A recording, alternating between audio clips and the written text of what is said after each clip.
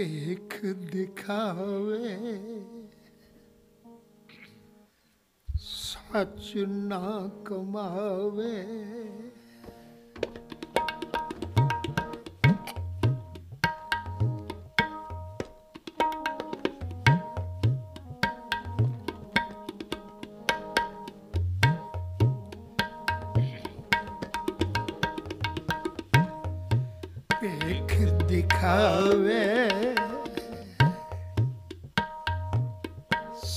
ਰਚਨਾ ਕਾ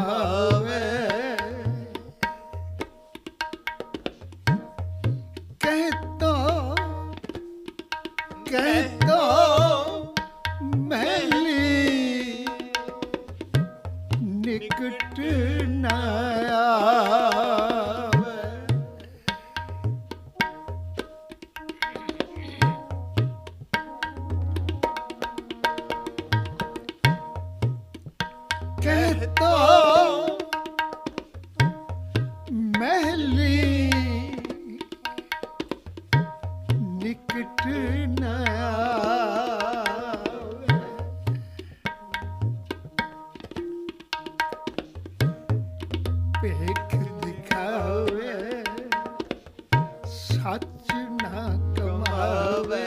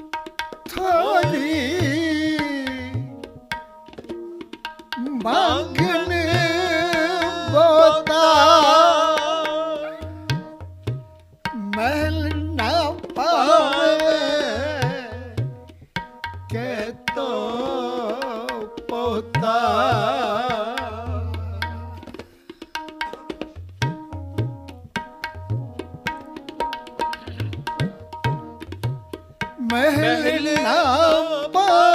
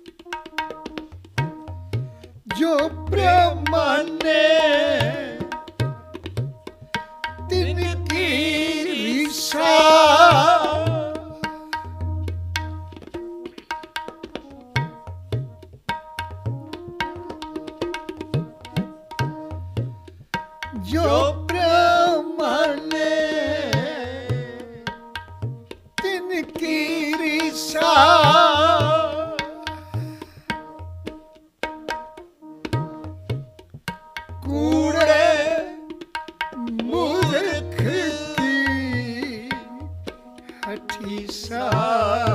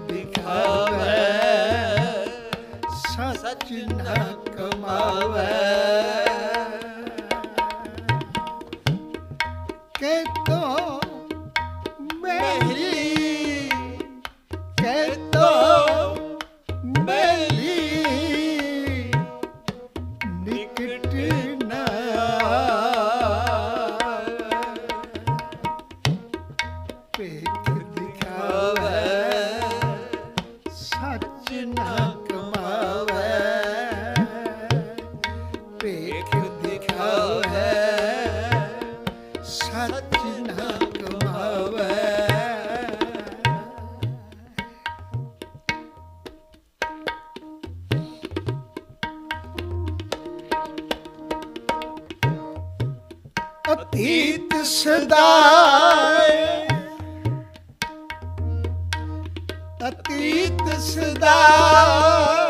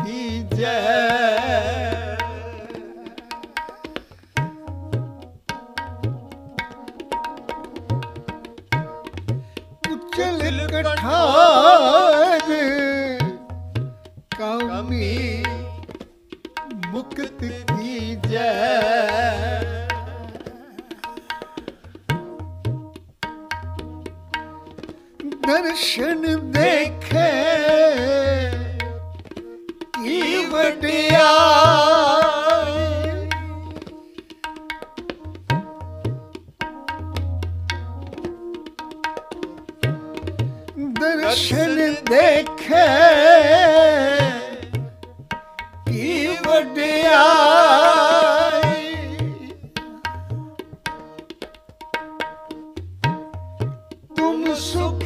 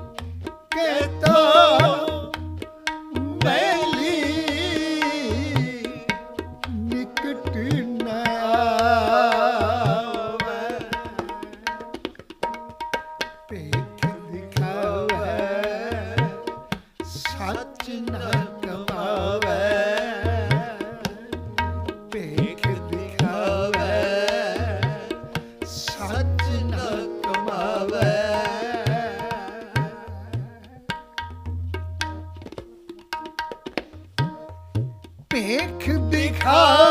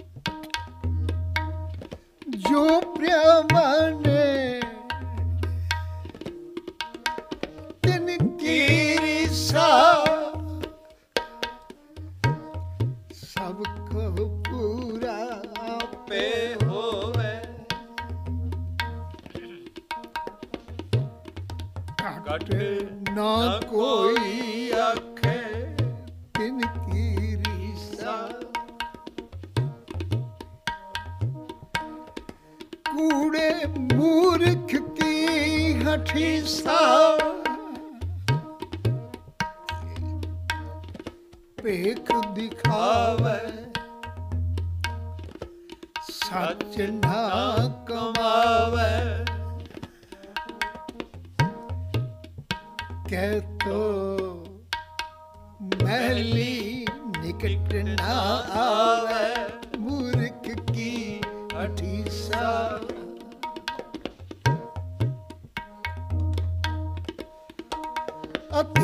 ਅਤੀਤ ਸਦਾਏ।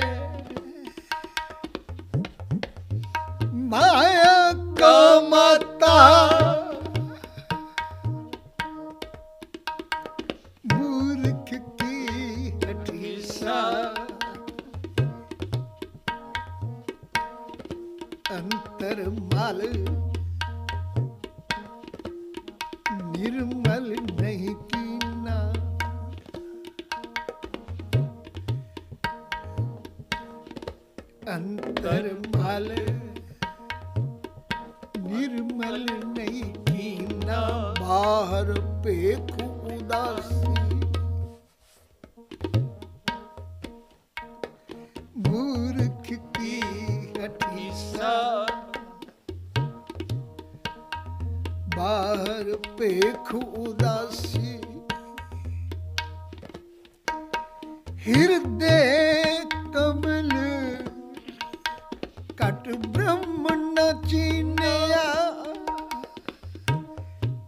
ਕਾਹੇ ਪਿਆ ਸੁਨਿਆਸੀ।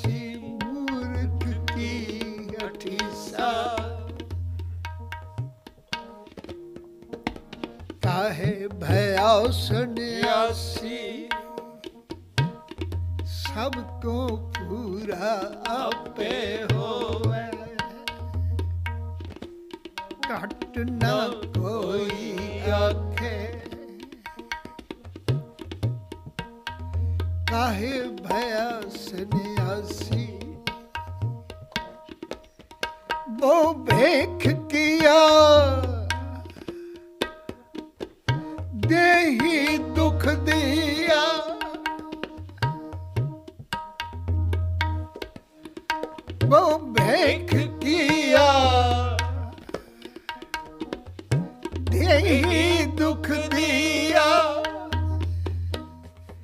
ਨਟੂਆ ਨਟੂਆ ਭੇਖ ਦਿਖਾਵੇ ਬੋਬਿਦ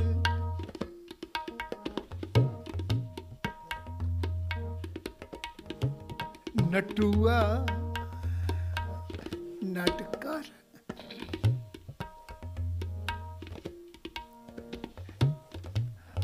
ਰਾਤ ਦੇ ਦੀਵਾਨ ਵਿੱਚ ਗੁਰੂ ਤੇਗ ਬਹਾਦਰ ਪਾਤਸ਼ਾਹ ਜੀ ਦਾ ਸ਼ਬਦ ਇਸ ਵਿਸ਼ੇ ਨੂੰ ਆਰੰਭ ਕਰ ਗਿਆ। ਤੇ ਬੜੇ ਸੰਖੇਪ ਵਿੱਚ ਮੈਂ ਲੜੀ ਜੋੜਾਂ। ਗੁਰੂ ਤੇਗ ਬਹਾਦਰ ਪਾਤਸ਼ਾਹ ਜੀ ਨੇ ਬਚਨ ਕੀਤਾ, ਕਹਿਣ ਲੱਗੇ, ਮੈਂ ਦੇਖਦਾ ਹਾਂ, ਮਨ ਰੇ। ਗਹਿੋ ਨ ਗੁਰੂ ਉਪਦੇਸ਼। ਤੇ ਮੈਂ ਅਰਜ਼ ਕੀਤੀ ਸੀ ਦੋ ਲਾਈਨਾਂ ਵਿੱਚ ਦੋ ਮੁਕਾਬਲਤਨ ਲਫ਼ਜ਼ ਵਰਤੇ। ਇੱਕ ਵਿੱਚ ਉਪਦੇਸ਼ ਤੇ ਦੂਜੀ ਲਾਈਨ ਵਿੱਚ ਭੇਸ। ਮੰਡਰੇ, ਗਹਿਓ ਨ ਗੁਰੂ ਉਪਦੇਸ਼। ਕਹਾਂ ਭਇਓ ਜੋ ਮੂੰਡ ਮੁੰਡਾਇਓ, ਭਗਵੋ ਕਿਨੋ ਭੇਸ। ਤੇ ਦੋਹਾਂ ਨੂੰ ਅਨਵੈ ਕਰਦਿਆਂ ਸਪਸ਼ਟ ਕਰ ਦਿੱਤਾ ਸਾਚ ਝੂਠ ਕੇ ਝੂਠੇ ਲੱਗੇ ਹੋ। ਇਹਦਾ ਮਤਲਬ ਉਪਦੇਸ਼ ਸੱਚ ਹੈ, ਭੇਸ ਝੂਠ ਹੈ।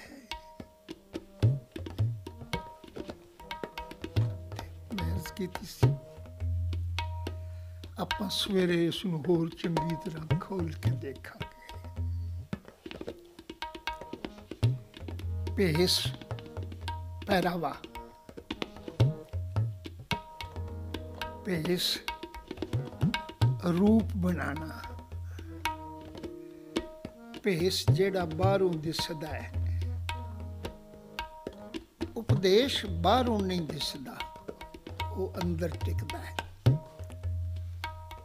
ਗੁਰੂ ਨਾਨਕ ਨੇ ਬਾਣੀ ਵਿੱਚ ਬੜੀ ਖੂਬਸੂਰਤ ਇੱਕ ਗੱਲ ਆਖੀ ਕਹਿਣ ਲੱਗੇ ਗੁਰੂ ਨਾਨਕ ਬੋਲੇ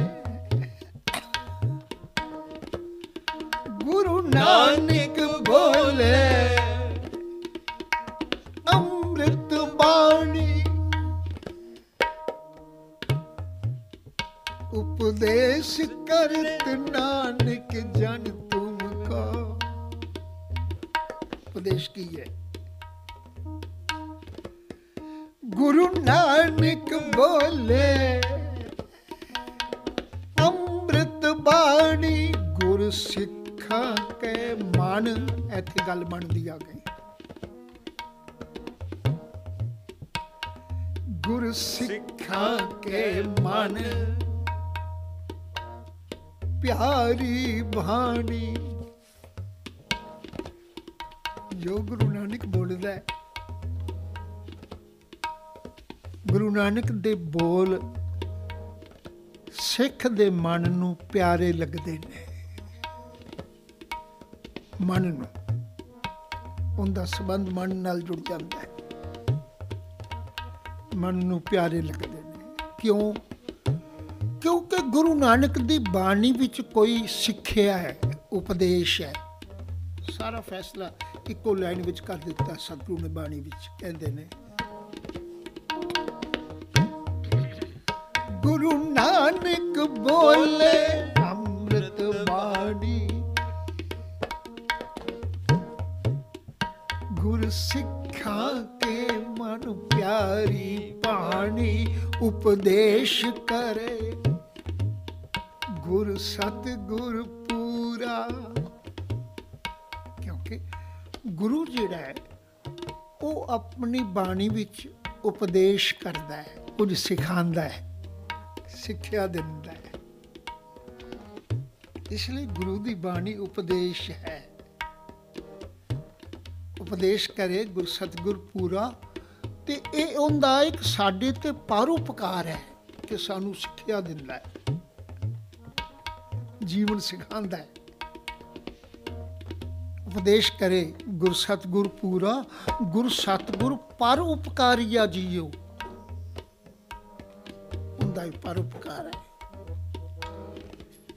ਤੇ ਗੁਰੂ ਤੇਗ ਬਹਾਦਰ ਪਾਤਸ਼ਾਹ ਜੀ ਨੇ ਰਾਤ ਬਚਨ ਕੀਤਾ ਸੀ, ਕਹਿਣ ਲੱਗੇ, ਮੈਂ ਜਦੋਂ ਤੇਰੇ ਵੱਲ ਦੇਖਣਾ ਤੇ ਕੀ ਦੇਖਣਾ ਕਿ ਤੂੰ ਉਪਦੇਸ਼ ਨਾਲ ਸੰਬੰਧ ਹੀ ਨਹੀਂ ਰੱਖਦਾ? ਮਨ ਰੇ, ਗਹਿਓ ਨਾ ਗੁਰੂ ਉਪਦੇਸ਼।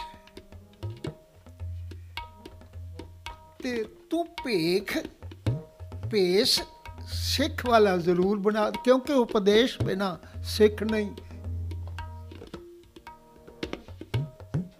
ਤੇ ਤੂੰ ਸਿੱਖੀ ਲਈ ਕੋਈ ਭੇਸ ਬਣਾ ਲਿਆ, ਕਿਉਂਕਿ ਭੇਸ ਬਣਾਉਣਾ ਤੇਰੇ ਹੱਥ ਸੀ।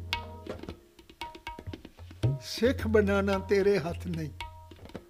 ਉਹ ਗੁਰੂ ਦੇ ਹੱਥ ਹੈ। ਜਦੋਂ ਉਹ ਸਿੱਖਿਆ ਦੇਵੇਗਾ, ਉਪਦੇਸ਼ ਕਰੇਗਾ, ਉਹ ਸਿੱਖਿਆ ਤੇਰੇ ਅੰਦਰ ਟਿਕੇਗੀ, ਫਿਰ ਸਿੱਖ ਬਣੇਗਾ। ਉਹ ਤੇਰੇ ਵੱਸ ਨਹੀਂ। ਉਹ ਗੁਰੂ ਤੋਂ ਲੈਣਾ ਜ਼ਰੂਰੀ ਹੈ, ਉਪਦੇਸ਼। ਪਰ ਭੇਸ ਬਣਾਉਣਾ ਤੇਰੇ ਵੱਸ ਵਿੱਚ ਹੈ। ਇੱਕ ਵਾਰ ਕੀਤੀ ਸੀ। ਕਿਸੇ ਦਰਜੀ ਕੋਲੋਂ ਕਿਸ਼ਾਰਾ ਸਵਾਇਆ ਜਾ ਸਕਦਾ ਹੈ। ਕਿਸੇ ਦਰਜੀ ਕੋਲੋਂ ਨੀਲਾ ਪੀਲਾ ਚਿੱਟਾ ਚੋਲਾ ਸਵਾਇਆ ਜਾ ਸਕਦਾ ਹੈ। ਘੰਟੇ 2 ਘੰਟੇ ਵਿੱਚ ਭੇਸ ਬਣ ਜਾਂਦਾ ਕੋਈ ਵੱਡੀ ਗੱਲ ਨਹੀਂ। ਪਰ ਜਿਹੜਾ ਗੁਰੂ ਦਾ ਉਪਦੇਸ਼ ਬਾਣੀ ਰੂਪ ਹੈ, ਜੇ ਉਹ ਆਖੋ ਵੀ ਘੰਟੇ 2 ਘੰਟੇ ਵਿੱਚ ਜਪਜੀ ਦੀ ਸਾਨੂੰ ਸਮਝ ਆ ਜਾਏ, ਸਾਡੇ ਜੀਵਨ ਦਾ ਹਿੱਸਾ ਬਣ ਜਾਏ, ਇਹ ਗੱਲ ਮੁਸ਼ਕਲ ਹੈ। ਹੁਣ ਜਪਜੀ ਨੂੰ ਅੰਦਰ ਵਸਾਉਂਦੇ ਆ ਉਹਨੂੰ ਸਮਝਦੇ ਆ ਤੇ ਉਸ ਦੇ ਅਨਸਾਰ ਜੀਵਨ ਢਾਲਦੇ ਆ ਕਿੰਨਾ ਸਮਾਂ ਚਾਹੀਦਾ ਹੈ। ਉਹ ਔਖਾ ਹੈ। ਭੇਸ ਬਣਾਉਣਾ ਸੌਖਾ ਹੈ। ਉਹਦਾ ਨਤੀਜਾ ਹੈ, ਮਨੁੱਖ ਦੀ ਇੱਕ ਫਿਤਰਤ ਹੈ। ਉਹਦਾ ਇੱਕ ਸੁਭਾਅ ਹੈ ਕਿ ਉਹ ਸੌਖੇ ਰਾਹ ਪਾਲ ਰਿਹਾ ਹੈ। ਉਹ ਕਹਿੰਦਾ, ਕੰਮ ਉਹ ਜਿਹੜਾ ਸੌਖਾ ਹੋ ਜਾਏ ਕੌਣ ਬਾਣੀ ਸੁਣੇ? ਸਮਝੇ, ਫਿਰ ਹਿਰਦੇ 'ਚ ਵਸਾਏ, ਫਿਰ ਹਿਰਦੇ 'ਚ ਵਸਾਉਣ ਤੋਂ ਬਾਅਦ ਉਹਨੂੰ ਆਪਣੇ ਕਰਮਾਂ ਵਿੱਚ ਅਮਲੀ ਰੂਪ ਦੇਵੇ। ਔਖਾ ਇਹਨੇ ਚੋਣ ਕਰ ਲਈ ਕਿ ਦੁਨੀਆ ਦੇ ਲੋਕ ਮੈਨੂੰ ਸਿੱਖ ਆਖਣ। ਇਸ ਲਈ ਸੌਖਾ ਰਾਹ ਇਹ ਹੈ ਕਿ ਮੈਂ ਇੱਕ ਭੇਸ ਬਣਾ ਲਵਾਂ। ਭੇਸ ਬਣਾ ਲਵਾਂ। ਨਤੀਜਾ ਕੀ ਨਿਕਲਿਆ? ਗੁਰੂ ਤੇਗ ਬਹਾਦਰ ਪਾਤਸ਼ਾਹ ਜੀ ਨੂੰ ਤੀਜੀ ਤੋਂ ਕਹਿਣੀ ਪਈ। ਸਾਚ ਛੋੜ ਕੇ ਸਾਚ ਛੋੜ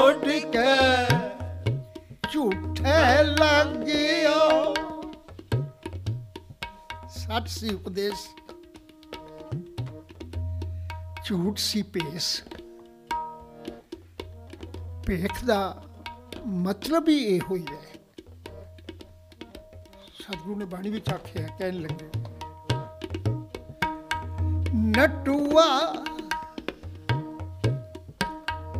ਨਟੂਆ ਭੇਖ ਦਿਖਾਵੇ ਬੋਬਿਦ। ਨਟਕਰ ਰੋਜ਼ ਆਪਣੇ ਨਾਟਕ ਦੇ ਮੁਤਾਬਕ ਆਪਣੇ ਆਪ ਨੂੰ ਪਾਤਰ ਸਿਰਜਣਾ ਉਹਦੇ ਹੱਥ ਵਿੱਚ ਹੈ। ਉਹ ਕਹਿੰਦਾ, ਲੋਕ ਮੈਨੂੰ ਸਮਝਣੇ ਅੱਜ ਰਾਜਾ ਹੈ। ਭਾਵੇਂ ਰਾਜਾ ਹੋਵੇ ਨਾ ਹੋਵੇ ਨੇ ਰਾਤ ਰਾਤ ਵਿੱਚ ਰਾਜਾ ਥੋੜਾ ਬਣ ਜਾਣਾ ਹੈ। ਪਰ ਰਾਜਿਆਂ ਵਾਲੇ ਕੱਪੜੇ ਪਾ ਕੇ, ਭੇਖ ਬਣਾ ਕੇ ਉਹ ਤਖਤ ਤੇ ਬਹਿ ਜਾਂਦਾ। ਲੋਕ ਕਹਿੰਦੇ ਨੇ, ਰਾਜਾ, ਬਸ ਆਈ ਉਹ ਚਾਹੁੰਦਾ ਸੌਖਾ ਹੈ। ਰਾਜਾ ਬਣਨਾ ਔਖਾ ਹੈ ਉਹ ਫਿਰ ਰਾਜੇ ਵਾਲਾ ਭੇਖ ਬਣਾਉਂਦਾ ਹੈ ਰਾਜੇ ਵਾਲਾ ਭੇਖ ਬਣਾਉਂਦਾ ਹੈ ਭਾਵੇਂ ਕੋਈ ਸਲਾਮ ਕਰੇ ਨਾ ਕਰੇ ਭਾਵੇਂ ਕੋਈ ਹੁਕਮ ਮੰਨੇ ਨਾ ਮੰਨੇ ਰਾਜਾ ਕਹੇ ਇਹ ਜ਼ਰੂਰ ਕਹੇ ਵੀ ਰਾਜਾ ਆ ਗਿਆ ਦੇਖਿਓ ਮੈਂ ਜਰਾ ਇਸ ਪਾਸੇ ਜਾਣਾ ਚਾਹਨਾ ਕਿਤੇ ਐਸਾ ਨਾ ਹੋਵੇ ਅਸੀਂ ਉਸ ਨਟੂਏ ਵਾਂਗੂ ਹੋਈਏ ਗੁਰੂ ਨੇ ਬਾਣੀ ਵਿੱਚ ਆਖਿਆ ਨਟੂਆ ਭੇਖ ਦਿਖਾਵੇ ਬੋਬਿਦ। ਜੈਸਾ ਹੈ, ਉਹ ਤੈਸਾ ਰੇ। ਹੈ ਤਾਂ ਜਿਉ ਜਿਆ ਉਹ ਜਿਹਾ ਹੀ। ਰਾਜਾ ਤੇ ਬਣ ਨਹੀਂ ਗਿਆ। ਪਰ ਰਾਜਾ ਅਖਵਾਨ ਲਈ ਉਹਨੇ ਭੇਖ ਬਣਾ ਲਿਆ ਤਾਂ ਕਿ ਲੋਕ ਮੈਨੂੰ ਰਾਜਾ ਆਖਣ। ਲਓ, ਅੱਜ ਦੇ ਸ਼ਬਦ ਦੀ ਟੇਕ ਦੀ ਇਹ ਲਾਈਨ ਹੈ, ਕਹਿੰਦੇ ਨੇ, ਭੇਖ ਨਾ, ਭੇਖ ਦਿਖਾਵੇ, ਸੱਚ ਨਾ ਕਮਾਵੇ। ਸਾਡੀ ਹਾਲਤ ਵੀ ਇਹ ਹੈ। ਅਸੀਂ ਸੱਚ ਉਪਦੇਸ਼ ਸੇਵਕ ਕੋ ਦੇ, ਜਿਹੜਾ ਉਹ ਸੱਚ ਉਪਦੇਸ਼ ਹੈ, ਉਹਨੂੰ ਕਮਾਉਂਦੇ ਨਹੀਂ, ਉਹਦੇ ਨਾਲ ਸੰਬੰਧ ਨਹੀਂ ਜੋੜਦੇ, ਭੇਖ ਬਣਾ ਲੈਣਾ ਆਸਾਨ ਹੈ। ਭੇਖ ਆਸਾਨ ਹੈ। ਕਹਿ ਤੋ ਮਹਿਲੀ ਅਸੀਂ ਜ਼ੁਬਾਨ ਨਾਲ ਗੱਲਾਂ ਕਰ ਲਗਾ, ਆਖਦੇ ਹਾਂ, ਮੇਰਾ ਗੁਰੂ ਨਾਲ ਬੜਾ ਸੰਬੰਧ ਹੈ। ਮੈਂ ਪੰਜ ਬਾਣੀਆਂ ਪੜਨਾ ਮੈਂ ਸੱਤ ਬਾਣੀਆਂ ਪੜਨਾ ਮੇਰਾ ਗੁਰੂ ਨਾ ਕਹਿ ਤੋ ਮਹਿਲੀ, ਮੈਂ ਉਹਦੇ ਘਰ ਵਿੱਚ ਮੇਰਾ, ਮੇਰੀ ਚਲਦੀ, ਮੈਂ ਆਖਾਂ, ਮੈਂ ਅਰਦਾਸ ਕਰਾਂ ਤੇ ਮੇਰੀ ਮੰਨੀ ਜਾਂਦੀ। ਆਖਰ ਅਰਦਾਸ ਕਰਨ ਲਈ ਇਸੇ ਲਈ ਅਸੀਂ ਕੋਈ ਨਿਸ਼ਚਿਤ ਕਰਨੇ ਆ ਨਾ, ਪਹਿਲਾਂ ਇਹ ਮੰਨਨੇ ਆ ਵੀ ਇਹਦੇ ਕੋਲੋਂ ਅਰਦਾਸ ਕਰਾਵਾਂਗੇ ਤਾਂ ਮੰਨੀ ਜਾਏਗੀ ਮੇਰੀ ਅਰਦਾਸ ਨਹੀਂ ਮੰਨੀ ਜਾਣੀ। ਸਤਿਗੁਰੂ ਕਹਿੰਦੇ ਨੇ, ਕਹਿ ਤੋ ਮੈਲੀ ਉਹ ਕਹਿੰਦਾ ਮੇਰੀ ਪਹੁੰਚ ਹੈ।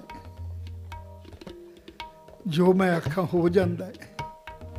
ਪਰ ਆਪ ਗੁਰੂ ਦੇ ਨੇੜੇ ਵੀ ਨਹੀਂ ਹੋਇਆ ਹੁੰਦਾ। ਪਰ ਕਹਿ ਤੋ ਮੈਲੀ ਨਿਕਟ ਨਾ ਆਵੇ। ਸਬੰਧ ਕੋਈ ਨਹੀਂ। ਪਰ ਕਿਹੜੀ ਅਜੀਬ ਗੱਲ ਹੈ? ਅੱਗੇ ਕਹਿੰਦੇ ਨੇ, ਮੈਨੂੰ ਇਹ, ਇਸ ਗੱਲ ਤੇ ਹੈਰਾਨ ਹੈ, ਉਹ ਮੂਰਖ ਹੱਠੀ ਇੰਨਾ ਹੋ ਗਿਆ ਹੈ, ਹਠੀਸਾ। ਕਹਿੰਦੇ ਨੇ ਅੜੀਲ ਸੁਭਾਅ, ਆਪਣੀ ਗੱਲ ਨੂੰ ਨਿਸ਼ਚੈ ਕਰਾਉਣਾ, ਆਪਣੀ ਗੱਲ ਤੇ ਦ੍ਰਿੜ ਰਹਿਣਾ, ਬਾਰ-ਬਾਰ ਆਖੀ ਜਾਣਾ। ਕਹਿਣ ਲੱਗੇ, ਆਪਣੇ ਆਪ ਵਿੱਚ ਮੂਰਖ ਇੰਨਾ ਹੱਠੀ ਹੋ ਗਿਆ ਹੈ ਕਿ ਕਹਿੰਦਾ, ਜੋ ਕੁਝ ਮੈਂ ਕਹਿਣਾ ਕੋਈ ਠੀਕ ਹੈ। ਜਿਹੜਾ ਕੱਪੜਾ ਕਵਾਂ, ਉਹ ਪਾਓ। ਜਿਹੜਾ ਰੂਪ ਹਾਲਾਂਕਿ ਇੱਕ ਖਿਆਲ ਕਰਿਓ, ਗੁਰੂ ਨੇ ਕੋਈ ਪੱਖ ਅੰਧੇਰੇ ਵਿੱਚ ਨਹੀਂ ਛੱਡਿਆ। ਬੜੀ ਸਮ ਚੰਗੀ ਤਰ੍ਹਾਂ ਸਮਝਾਇਆ। ਕਹਿਣ ਲੱਗੇ,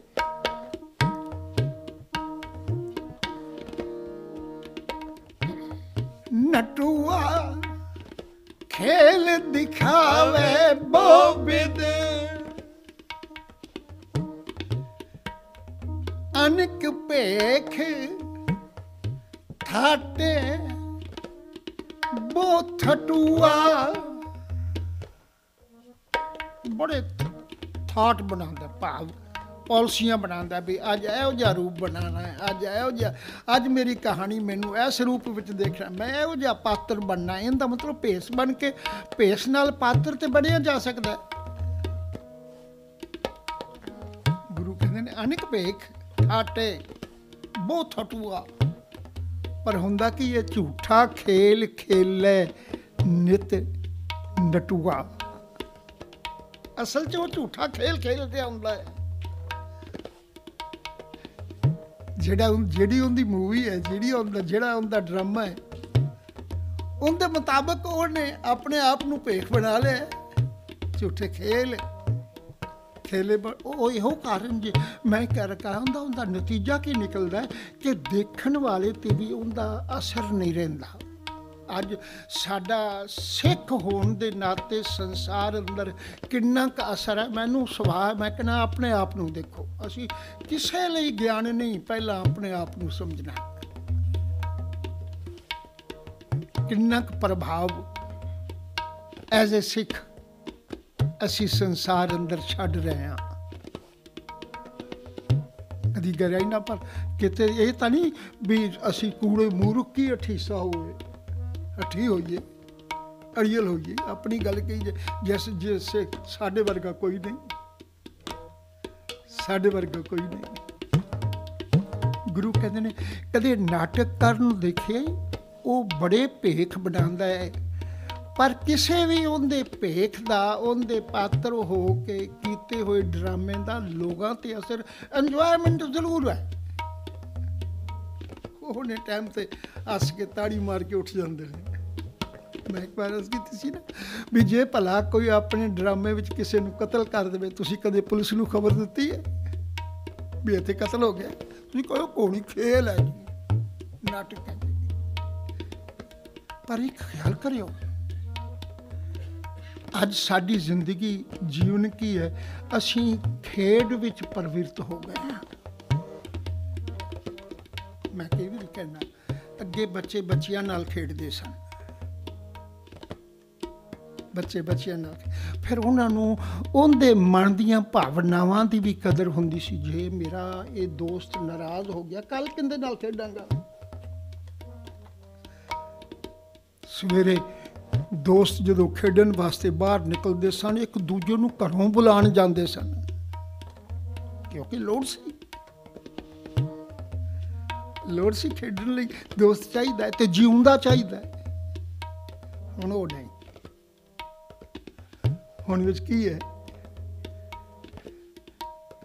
ਗੁਰੂ ਸਾਹਿਬ ਨੇ ਇੱਕ ਲਫ਼ਜ਼ ਵਰਤੇ ਨੇ, ਕਹਿੰਦੇ ਨੇ, ਮਾਥੇ ਦਿਲ ਕੇ ਹੱਥ ਮਾਲਾ ਬਨ ਬਾਣਾ। ਤੇ ਉਹਦੇ ਨਾਲ ਬਣਿਆ ਕੀ ਹੈ? ਲੋਗਨ ਰਾਮ ਖਿਲਾਉਣਾ ਜਾਣਾ। ਉਹਦੇ ਨਾਲ ਖਿਲਾਉਣਾ ਬਣ ਗਿਆ।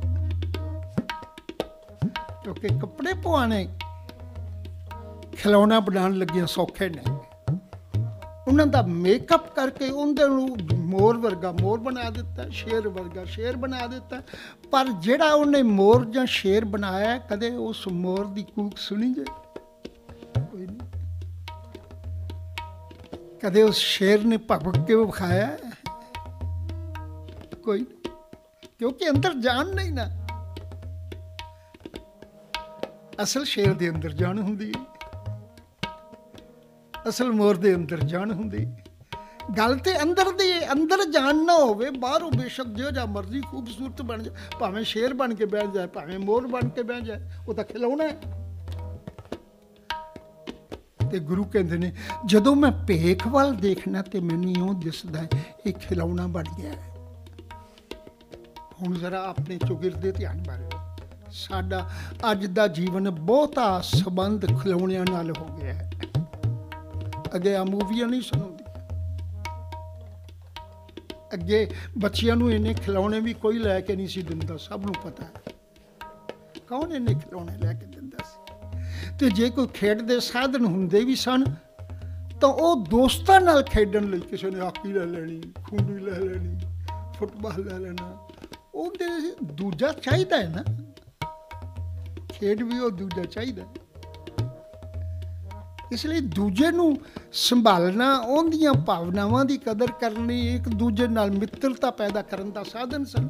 ਕਿਉਂਕਿ ਬੱਚੇ ਵੀ ਸਮਝਦੇ ਸਨ, ਮੇਰਾ ਦੂਜਾ ਮਿੱਤਰ ਨਾਰਾਜ਼ ਨਾ ਹੋ ਜਾਏ। ਬਚਪਨ ਦੀ ਮਿੱਤਰਤਾ ਬੁਢੇਪੇ ਤੱਕ ਯਾਦ ਰਹਿੰਦੀ ਸੀ। ਰੋਜ਼ਾਨਾ ਜੀਵਨ 'ਚ ਦੇਖੋ। ਪਰ ਹੁਣ ਉਸ ਦੇ ਉਲਟ ਹੈ। ਹੁਣ ਬੱਚਿਆਂ ਕੋਲ ਤਾਂ ਟਾਏ ਰੂਮ ਵੱਖਰੇ ਬਣਾ ਦਿੱਤੇ ਨੇ, ਜਿੱਥੇ ਭਰੇ ਪਏ ਨੇ ਟਾਏ। ਔਰ ਸਾਰੇ ਬੇਜਾਨ। ਜਿਨ੍ਹਾਂ ਵਿੱਚ ਜਾਣ ਕੋਈ ਨਹੀਂ। ਸਾਰਾ ਘਰ ਭਰਿਆ ਪਿਆ ਖਿਡੌਣਿਆਂ ਨਾਲ ਜਿਨ੍ਹਾਂ ਵਿੱਚ ਜਾਨ ਕੋਈ ਨਹੀਂ। ਤੇ ਬੱਚਿਆਂ ਨੂੰ ਆਪਣੇ ਮਿੱਤਰ ਦੀ ਲੋੜ ਹੀ ਕੋਈ ਨਹੀਂ। ਉਹ ਸਵੇਰੇ ਆਪਣੇ ਟਾਏ ਰੂਮ ਵਿੱਚ ਜਾਂਦੇ ਨੇ ਸਾਰੇ ਬੱਚੇ ਉਹਨਾਂ ਟਾਇਆਂ ਨਾਲ, ਉਹਨਾਂ ਖਿਡੌਣਿਆਂ ਨਾਲ ਖੇਡਦੇ ਨੇ। ਔਰ ਉਹ ਖਿਡੌਣਿਆਂ ਵਿੱਚ ਜਾਨ ਨਹੀਂ ਹੁੰਦੀ, ਇਸ ਵਾਸਤੇ ਉਹਨਾਂ ਨੂੰ ਭਾਵਨਾਵਾਂ ਦਾ ਹੀ ਨਹੀਂ ਪਤਾ ਲੱਗਦਾ। ਖਿਲੌਣੇ ਨਾਲ ਤਾਂ ਜਿੰਨੀ ਮਰਜ਼ੀ, ਜਿੰਨੀ ਦੇਰ ਮਰਜ਼ੀ ਖੇਲ ਲਓ।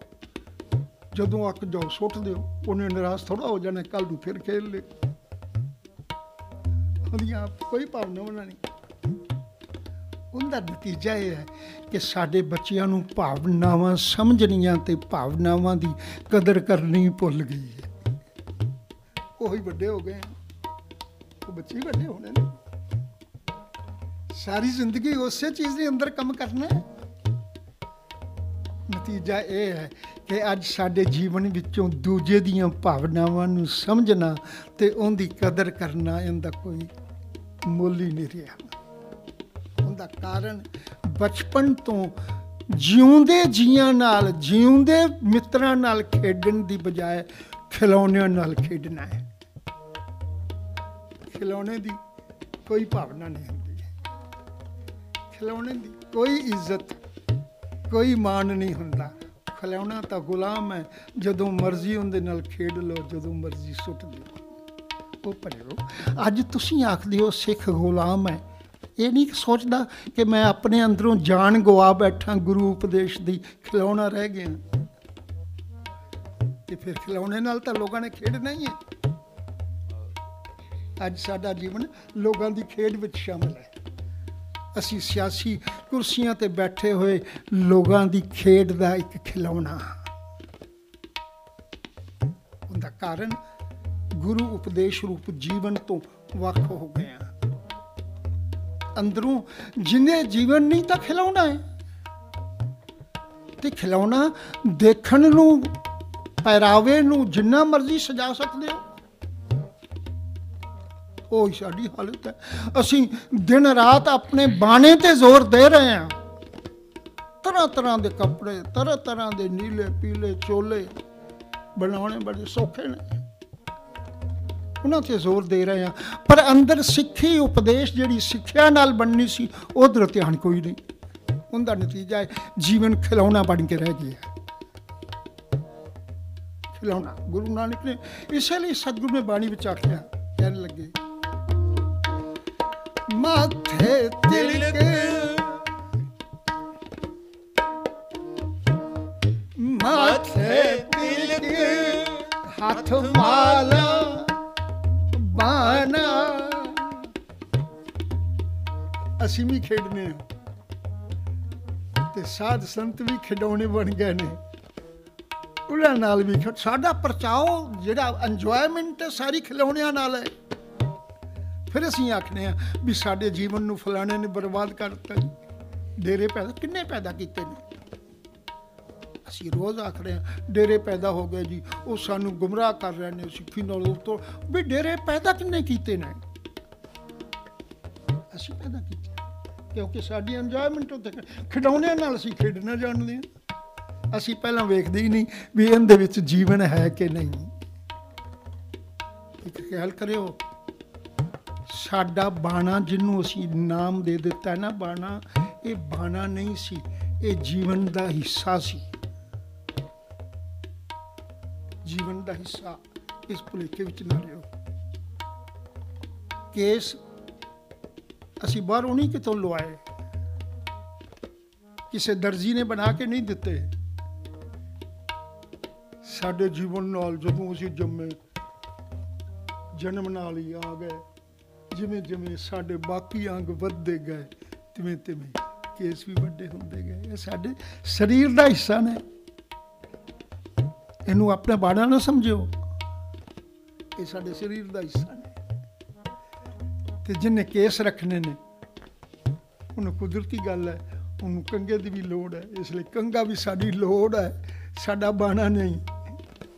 ਅਸੀਂ ਤਾਂ ਕਕਾਰਾਂ ਨੂੰ ਬਾਣਾ ਬਣਾ, ਇੱਕ ਭੇਖ ਬਣਾ ਲਿਆ ਹੈ। ਅਸੀਂ ਲੋੜਾਂ ਦੀ, ਉਹਨਾਂ ਦੀ ਮਹੱਤਤਾ ਹੀ ਖਤਮ ਕਰ ਲਈ ਵੀ ਇਹ ਸਾਡੇ ਜੀਵਨ ਦੀਆਂ ਲੋੜਾਂ ਨੇ। ਜਿੰਨੇ ਕੇਸ ਰੱਖਣੇ ਨੇ ਉਹਨੂੰ ਕੰਗੇ ਦੀ ਵੀ ਲੋੜ ਹੈ। ਇਹ ਗੱਲ ਵੱਖਰੀ ਹੈ ਕਿ ਉਦੋਂ ਇਹ ਚੀਜ਼ਾਂ ਅੱਜ ਵਾਲਾ ਸਾਧਨ ਨਹੀਂ ਸੀ, ਉਦੋਂ ਕੰਗੇ ਬਣਦੇ ਸਨ, ਲੱਕੜ ਦੇ। ਤੇ ਹੁਣ ਕਈ ਹੋਰ ਸਾਧਨ ਬਣ ਗਏ ਪਰ ਮਸਲਾ ਤਾਂ ਕੰਗਾ ਦਾ, ਸਿਰਫ ਕੇਸਾਂ ਦੀ ਸੰਭਾਲ ਹੈ, ਕੇਸਾਂ ਦੀ ਸੁਰੱਖਿਆ ਹੈ। ਅਸੀਂ ਲੋੜ ਨਾਲ ਨਹੀਂ ਜੁੜ ਰਹੇ। ਅਸੀਂ ਬਾਣਾ ਬਣਾ ਲਿਆ। ਇੱਕ ਧਰਮ ਦਾ ਹਿੱਸਾ ਬਣਾ ਲਿਆ। ਚੰਗਾ, ਸਾਡੀ ਲੋੜ ਹੈ। ਜਿਹਨੇ ਕੇਸ ਰੱਖਣੇ ਨੇ, ਦਸਤਾਰ ਉਹਨੂੰ ਸੰਭਾਲਣ ਲਈ ਸਾਡੀ ਲੋੜ ਹੈ। ਭਾਵੇਂ ਨੀਲੀ ਹੋਵੇ, ਪੀਲੀ ਹੋਵੇ, ਲਾਲ ਹੋਵੇ, ਗੁੱਠ ਵਾਲੀ ਹੋਵੇ, ਵਲਦਾਰ ਹੋਵੇ ਤੇ ਭਾਵੇਂ ਚਲਦੀ ਚਲਦੀ ਦੁਮਾਲੇ ਦੇ ਰੂਪ ਵਿੱਚ ਕੋਈ ਕਿਸੇ ਰੰਗ ਦੀ, ਕਿਸੇ ਸ਼ਕਲ ਦੀ ਹੋਵੇ, ਕੋਈ ਇਤਰਾਜ਼ ਨਹੀਂ। ਅਸੀਂ ਇਹ ਨਾ ਆਖੀਏ, ਐਸ ਰੰਗ ਨਾਲ ਹੀ ਸਿੱਖ ਬਣਦਾ ਹੈ। ਅਸੀਂ ਇਹ ਨਾ ਆਖੀਏ ਇਸ ਤਰ੍ਹਾਂ ਦੀ ਗੋਲ ਪੱਗ ਬੰਨਣ ਨਾਲ ਹੀ ਸਿੱਖ ਹੁੰਦਾ ਹੈ। ਜਾਂ ਦਮਾਲਾ ਬੰਨਣ ਨਾਲ ਨੂੰ ਭਲਿਆ, ਦਸਤਾਰ ਤਾਂ ਤੇਰੀ ਲੋੜ ਹੈ। ਤੂੰ ਉਹਨੂੰ ਆਪਣਾ ਬਣਾ ਬਣਾ ਲਿਆ। ਤੇ ਫਿਰ ਉਹ ਭੇਖ ਦਾ ਰੂਪ ਹੋ ਗਿਆ। ਇਸ ਤਰ੍ਹਾਂ ਅਸੀਂ ਆਪਣੇ ਆਪ ਨੂੰ ਬਦਲ ਨਤੀਜਾ ਇਹ ਨਿਕਲਿਆ। ਅਸੀਂ ਖਿਲੌਣੇ ਦਾ ਰੂਪ, ਕਿਉਂਕਿ ਖਿਲੌਣੇ ਵਿੱਚ ਇਹ ਚੀਜ਼ ਹੁੰਦੀ ਹੈ ਉਹਦੇ ਅੰਦਰ ਜਾਨ ਨਹੀਂ ਹੁੰਦੀ, ਉਹਦੇ ਬਾਹਰੋਂ ਸਜਾਵਟ ਬੜੀ ਹੁੰਦੀ। ਜਿੰਨੀ ਮਰਜ਼ੀ ਸਜਾ ਲਓ। ਤੇ ਸਿੱਖ ਫਿਰ ਦੂਜੇ ਪਾਸਾ ਇਹ ਦੇਖਣਾ ਜਿੰਨੇ ਖਿਲੌਣਾ ਬਣਨਾ ਫਿਰ ਉਹ ਇਹ ਨਾ ਆਖੇ, ਮੇਰਾ ਮਾਣ ਕਿਉਂ ਨਹੀਂ? ਮੇਰਾ, ਮੈਂ ਗੁਲਾਮ ਕਿਉਂ ਹਾਂ? ਮੇਰੀ ਇੱਜ਼ਤ ਕਿਉਂ ਨਹੀਂ? ਉਸ ਕਹਿੰਦੇ ਆ, ਜਿੰਨੇ ਇੱਕ ਘਰ ਵਿੱਚ ਬੱਚਿਆਂ ਦੇ ਹਿਰਦੇ ਵਿੱਚ ਇੱਕ ਖਿਡੌਣੇ ਦੀ ਕੀਮਤ ਹੈ ਉਨੀ ਕੁ ਤੇਰੀ ਰਹਿ ਗਈ। ਜਿਵੇਂ ਬੱਚੇ ਖਿਡੌਣੇ ਨਾਲ ਖੇਡ ਕੇ ਸੁੱਟ ਦਿੰਦੇ ਨੇ, ਇਸੇ ਤਰ੍ਹਾਂ ਤੇਰੇ ਜੀਵਨ ਕੋਲੋਂ ਕੰਮ ਲੈ ਕੇ ਭਾਵੇਂ ਦੇਸ਼ ਦੀ ਆਜ਼ਾਦੀ ਲਈ ਤੂੰ ਸ਼ਹੀਦੀਆਂ ਪਾਈਆਂ ਤੇ ਭਾਵੇਂ ਉਹਨਾਂ ਨੇ ਤੇਰੇ ਕੋਲੋਂ ਅੱਜ ਵੀ ਲੈ ਰਹਿਣਾ ਹੈ, ਪਰ ਖਿਡੌਣੇ ਦੇ ਰੂਪ ਵਿੱਚ ਜਿਸਲੇ ਮਰਜ਼ੀ ਸੁੱਟ ਦੇਣ, ਤੇਰੀ ਵੈਲਿਊ ਖਿਡੌਣਾ ਜੇ ਤੂੰ ਆਪਣੇ ਆਪ ਨੂੰ ਖਿਡੌਣੇ ਤੋਂ ਬਦਲਣਾ ਹੈ, ਤੇ ਤੈਨੂੰ ਗੁਰੂ ਉਪਦੇਸ਼ ਰੂਪ ਅੰਦਰ ਜੀਵਨ ਪੈਦਾ ਕਰਨਾ ਪਏਗਾ। ਜਿਉਂਦੇ ਮਨੁੱਖ ਨਾਲ ਖੇਡਦੇ ਆ ਹਰ ਆਦਮੀ ਨੂੰ ਪਤਾ ਹੋਏਗਾ, ਅੱਜ ਇਹਦੇ ਨਾਲ ਖੇਡਣਾ ਕੱਲ ਵੀ ਖੇਡਣਾ ਹੈ। ਜਿੰਨੀ ਦੇਰ ਤੋਂ ਆਪਣੇ ਅੰਦਰ ਗੁਰੂ ਉਪਦੇਸ਼ ਦਾ ਜੀਵਨ ਨਹੀਂ ਪੈਦਾ ਕਰਦਾ, ਕੇਵਲ ਬਾਣਿਆਂ ਨਾਲ ਤੂੰ ਕੇਵਲ ਤੇ ਕੇਵਲ ਇੱਕ ਖਿਡੌਣਾ ਬਣ ਕੇ ਰਹਿ ਗਿਆ ਹੈ। ਤੇ ਤੇਰੀ ਵੈਲਿਊ ਵੀ ਅੱਜ ਸੱਚਾਈ ਕਹਿਣ ਤੋਂ ਮੈਂ ਸੰਕੋਚ ਨਹੀਂ ਕਰਦਾ, ਅੱਜ ਤਾਂ ਸਾਡੀ ਵੈਲਿਊ ਵੀ ਇੱਕ ਖਿਡੌਣੇ ਵਾਂਗੂ ਹੈ। ਅਸੀਂ ਰੌਲਾ ਜ਼ਰੂਰ ਪਾਣੇ ਆ ਕਹਿੰਦੇ ਆ ਵੀ ਦੇਖੋ ਜੀ, ਸਾਡੀ ਕਦਰ ਨਹੀਂ ਜੀ, ਸਾਡੀ ਕੀਮਤ ਨਹੀਂ ਪਾਈ ਜੀ, ਅਸੀਂ ਇੰਨੀਆਂ ਕੁਰਬਾਨੀਆਂ ਕੀਤੀਆਂ ਅਸੀਂ ਗੁਲਾਮ ਆ ਇਹ ਸਭ ਕੁਝ ਇਸੇ ਲਈ ਹੈ ਕਿਉਂਕਿ ਅਸੀਂ ਇੱਕ ਖਿਡੌਣੇ ਆ ਤੇ ਖਿਡੌਣੇ ਇਸ ਲਈ ਹਾਂ ਕਿਉਂਕਿ ਭੇਖ ਰਾਤਾਰੀਆਂ ਅਸੀਂ ਸਿਰਫ ਬਾਣੇ ਤੇ ਖਲੋ ਗਏ ਆ ਬਾਣੀ ਨੂੰ ਭੁੱਲ ਗਏ ਹਾਂ। ਬਲਕਿ ਹੈਰਾਨ ਹੁੰਨਾ। ਭਲੇ ਹੋ ਸਤਿਗੁਰੂ ਨੇ ਬਾਣੀ ਅੰਦਰ, ਬਾਣੀ ਗੁਰੂ ਗੁਰੂ ਹੈ ਬਾਣੀ ਤਾਂ ਆਖਿਆ, ਕਿਤੇ ਆਖਿਆ, ਬਾਣਾ ਗੁਰੂ ਤੇ ਗੁਰੂ ਹੈ ਬਾਣਾ, ਦੱਸੋ। ਸਾਰੇ ਸ੍ਰੀ ਗੁਰੂ ਗ੍ਰੰਥ ਸਾਹਿਬ ਵਿੱਚੋਂ ਪੜ੍ਹ ਕੇ ਕਿਤੇ ਸਾਨੂੰ ਸੁਹਾ- ਮੈਨੂੰ ਦੱਸ ਦਿਓ। ਕੋਈ ਉਹ ਪੇਜ ਦੱਸੋ, ਜਿੱਥੇ ਇਹ ਆਖਿਆ ਹੋਵੇ, ਬਾਣਾ ਗੁਰੂ। ਬਾਣੀ ਗੁਰੂ। ਅਸੀਂ ਬਾਣੀ ਭੁੱਲ ਕੇ ਕੇਵਲ ਦਿਖਾਵੇ ਤੇ ਰਹਿ ਗਏ। ਆਖਿਆ ਅਸੀਂ ਰੂਪ ਸਿੱਖ ਵਾਲਾ ਬਣਾ ਲਈਏ, ਅੰਦਰ ਭਾਵੇਂ ਗੁਰੂ ਉਪਦੇਸ਼ ਹੋਵੇ ਨਾ ਹੋਵੇ। ਤੇ ਸੱਚ ਜਾਣਿਓ, ਗੁਰੂ ਤੇਗ ਬਹਾਦਰ ਪਾਤਸ਼ਾਹ ਜੀ ਦਾ ਸ਼ਬਦ, ਰਾਤ ਇਸੇ ਪੈਗਾਮ ਮੈਸੇਜ ਨੂੰ ਸਾਡੇ ਤੁਹਾਡੇ ਤੇ ਮੇਰੇ ਦਰਮਿਆਨ ਲੈ ਕੇ ਆਇਆ ਸੀ ਕਿ, ਮਨ ਰੇ ਗਹਿਓ ਨਾ ਗੁਰ ਉਪਦੇਸ਼ ਕਹਾਂ ਭਇਓ ਜੋ ਮੂੰਡ ਮੁਟਾਇਓ ਭਗਵੋ ਕੀਨੋ ਭੇਖ। ਭਗਵੋ ਕੀਨੋ ਵੇਸ ਭੇਸ ਤੇ ਵੇਸ ਦਾ ਗੁਰੂ ਸਾਹਿਬ ਨੇ ਫੈਸਲਾ ਇਹ ਦਿੱਤਾ ਸੀ ਕਿ ਸਾਚ ਛੋੜ ਕੇ ਝੂਠੇ ਲਾਗੇ ਉਪਦੇਸ਼ ਸੱਚ ਸੀ, ਉਹਨੂੰ ਛੱਡ ਦਿੱਤਾ ਤੇ ਜਿਹੜਾ ਦਿਖਾਵੇ ਪਾਤਰ ਖਿਲੌਣਾ ਰੂਪ ਭੇਸ ਸੀ, ਉਹਨੂੰ ਅਸੀਂ ਆਪਣਾ ਬਾਣਾ ਆਖ ਕੇ ਨਾਲ ਜੋੜ ਲਿਆ। ਉਹ ਭਲਿਓ, ਮੈਂ ਰਾਤ ਵੀ ਅਰਜ਼ ਕੀਤੀ ਸੀ, ਜਿੰਦੇ ਅੰਦਰ ਜੜ ਹੈ ਉਹਦੇ ਵਿੱਚੋਂ ਹੀ ਸ਼ਾਖਾ ਨਿਕਲਦੀਆਂ ਨੇ, ਉਹਨੂੰ ਹੀ ਫਲ ਲੱਗਦੇ ਨੇ, ਉਹਨੂੰ ਹੀ ਫੁੱਲ ਲੱਗਦੇ ਨੇ। ਜਿੰਦੇ ਹੇਠਾਂ ਜੜ ਨਾ ਹੋਵੇ, ਅੰਦਰ ਜੜ ਨਾ ਹੋਵੇ, ਉਹਦੇ ਬਾਹਰ ਨਾ ਸ਼ਾਖਾ ਉਗਦੀਆਂ ਨੇ, ਨਾ ਉਹਨੂੰ ਫਲ ਲੱਗਦੇ ਨੇ, ਨਾ ਉਹਦੀ ਕੋਈ ਵੈਲਿਊ ਰਹਿੰਦੀ। ਤੇ ਅੱਜ ਵੀ ਜਿਹੜਾ ਸ਼ਬਦ ਤੁਹਾਡੇ ਨਾਲ ਸਾਂਝਾ ਕਰ ਰਹੇ ਹਾਂ, ਉਹਦੇ ਵਿੱਚ ਇਹੋ ਫੈਸਲਾ ਹੈ। ਗੁਰੂ ਕਹਿੰਦੇ ਨੇ, ਮੈਂ ਦੇਖਦਾ ਕੀ ਹਾਂ? ਭੇਖ ਦਿਖਾਵੇ ਸੱਚ ਨਾ ਕਮਾਵੇ। ਭੇਖ ਦਿਖਾਵੇ ਸੱਚ ਨਾ ਕਮਾਵੇ। ਕਹਤੋ ਮੈਲੀ ਨਿਕਟ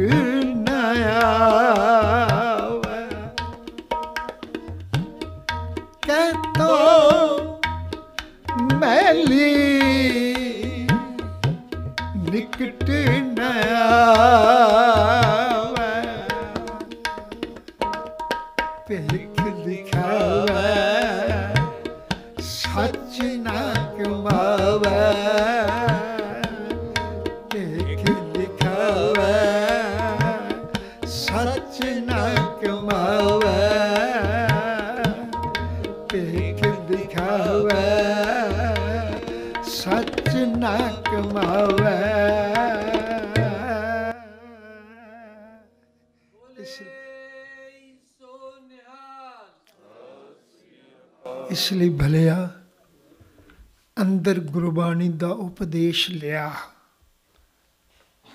ਪੱਗ ਕਿਸੇ ਦੇ ਰੰਗ ਦੀ ਬਣ ਲੈ।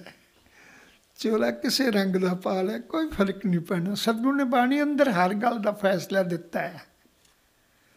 ਸਤਿਗੁਰੂ ਬਾਣੀ ਵਿੱਚ ਕਹਿੰਦੇ ਨੇ ਵੀ ਉਹ ਪ੍ਰਭੂ ਜਾਣਦਾ ਹੈ। ਉਹ ਸਮਝਦਾ ਹੈ। ਉਹ ਤੇਰੇ ਅੰਦਰ ਦੀਆਂ ਪਛਾਣਦਾ ਹੈ। ਕਹਿੰਦੇ ਨੇ, ਪ੍ਰਭੂ ਜਿਹੜਾ ਹੈ, ਉਹ ਤੇਰੇ ਬਾਣੇ ਤੇਰੀਆਂ ਉੱਪਰਲੀਆਂ ਸ਼ਕਲਾਂ ਵੱਲ ਨਹੀਂ ਦੇਖਦਾ। ਉਹ ਅੰਤਰਜਾਮੀ ਜਾਣੇ। ਸਭ ਕੁਝ ਜਾਣਦਾ ਹੈ। ਤੇ ਅੰਦਰ ਦੀਆਂ ਪੱਟੀਆਂ, ਤੇਰੇ ਅੰਦਰ ਗੁਰੂ ਉਪਦੇਸ਼ ਹੈ। ਤੂੰ ਸਿੱਖੀ ਸਿੱਖਿਆ, ਗੁਰ ਵਿਚਾਰ ਦੇ ਮੁਤਾਬਕ ਸਿੱਖ ਹੈ। ਬਾਹਰ ਵੇਖ ਨਾ ਕਾਹੂ ਬੀਨ ਪ੍ਰਭੂ ਜਿਹੜਾ ਹੈ, ਉਹ ਬਾਹਰ ਦੇ ਭੇਖ ਤੇ ਨਹੀਂ ਭਿਜਦਾ। ਬਾਹਰ ਭੇਖ ਨਾ ਕਾਹੂ ਬੀਨ ਉਹ ਅੰਦਰ ਨੂੰ ਸਮਝਦਾ ਹੈ। ਇਸ ਲਈ ਅੰਦਰ ਜੀਵਨ ਪੈਦਾ ਕਰ। ਬਾਹਰ ਤੂੰ ਕਿਸੇ ਕਿਸਮ ਦਾ ਕੱਪੜਾ ਪਾ ਲੈ, ਕੋਈ ਹਰਜ ਨਹੀਂ, ਕੋਈ ਰੰਗ ਪਾ ਲੈ। ਕਿਸੇ ਤਰ੍ਹਾਂ ਦੀ ਦਸਤਾਰ ਸਜਾ ਲੈ, ਇਹ ਸਾਡੀਆਂ ਲੋੜਾਂ ਨੇ। ਉਹਨਾਂ ਲੋੜਾਂ ਨੂੰ ਲੋੜਾਂ ਵਾਂਗੂ ਰੱਖ, ਸੰਭਾਲ। ਇਹ ਨਹੀਂ ਵੀ ਛੱਡ ਦੇ। ਲੋੜਾਂ ਹਮੇਸ਼ਾ ਸੰਭਾਲੀਆਂ ਜਾਂਦੀਆਂ ਨੇ, ਪਰ ਲੋੜਾਂ ਜਿਹੜੀਆਂ ਨੇ ਉਹ ਧਰਮ ਨਹੀਂ ਹੁੰਦੀਆਂ। ਇਹ ਦੋ ਚੀਜ਼ਾਂ ਨੂੰ ਚੰਗੀ ਤਰ੍ਹਾਂ ਗੁਰਬਾਣੀ ਵਿੱਚੋਂ ਸਮਝ ਇਹਨਾਂ ਸ਼ਬਦਾਂ ਨਾਲ ਖਿਮਾਂਦਾ ਜਾ ਚੇਖਾਂ ਫਤਿਹ ਬੁਲਾਓ, ਵਾਹਿਗੁਰੂ ਜੀ ਕਾ ਖਾਲਸਾ, ਵਾਹਿਗੁਰੂ ਜੀ ਕੀ ਫਤਿਹ।